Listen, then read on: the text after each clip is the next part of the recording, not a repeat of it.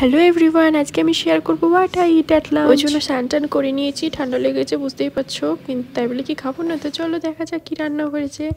Wow কত tasty tasty খাবার। মাসি আমাকে সার্ভ করে দিচ্ছে আর আমি চুল টুল বেঁধে একদম খাওয়ার জন্য বসে পড়লাম চেয়ার টেনে। কি সুন্দর আমার প্লেটটা সাজিয়ে দিচ্ছে। আজকে মেনুতে আছে চিকেন কষা পেঁয়াজ কুলি আলু ভাজা আমলার কারি পাতার চাটনি স্যালাড আর ভাত আর চাটনি। ব্যাস, আমি খাওয়ার জন্য রেডি চিকেনটাকে সাইডে রেখে খাওয়া শুরু করলাম।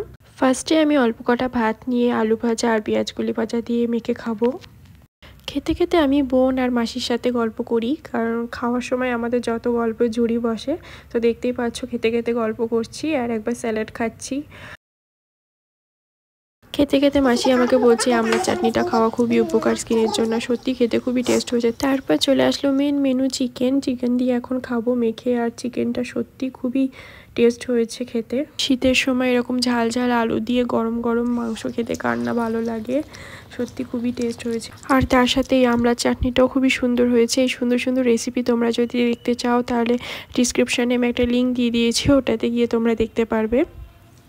আবার আমরা গল্প করছি, খাওয়ার সময় খুবই গল্প করি খেতে খেতে। অ্যান্ড নাও আমার খাওয়া শেষ হয়ে গেছে আর আমি এখন চিকেনের ফেভারিট পিসগুলো খাচ্ছি।